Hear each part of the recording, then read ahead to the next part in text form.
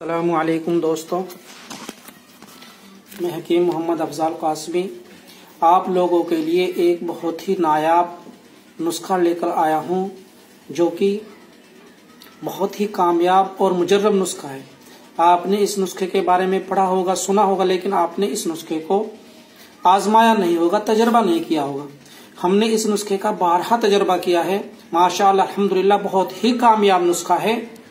और बहुत ही आसान सा नुस्खा है। आप हर शख्स इसको घर बना सकता है बहुत आसानी के साथ। और ये नुस्खा जिस्म की एडी से चोटी तक की तमाम ब्लोकेज नसों को खोलने के लिए बहुत ही कामयाब नुस्खा है। खासकर हार्ट की ब्लोकेज नसों को खोलने के लिए बहुत ही लाजवाब नुस्खा है। जिनको हार्ट की प्रॉब्लम है, वो इस नुस्खे को ज़रूर ज़रूर इस्तेमाल करें।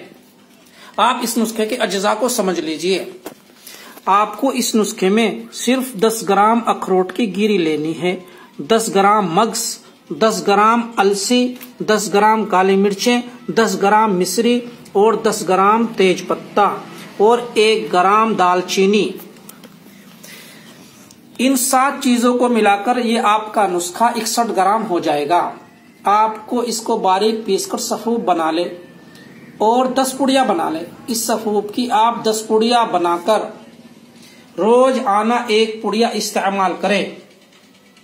सुबह खाली पेट रोज़ाना एक पुड़िया इस्तेमाल करें और इस पुड़िया को खाने के बाद पौन घंटा, एक घंटे तक आप कुछ भी चीज़ इस्तेमाल ना करें, चाय, पानी वगैरह कुछ भी ना पिए। इनशाला ये नुस्खा आपकी हार्ट की और जिस्म की तमाम ब्लोकेज नसों को खोल देगा।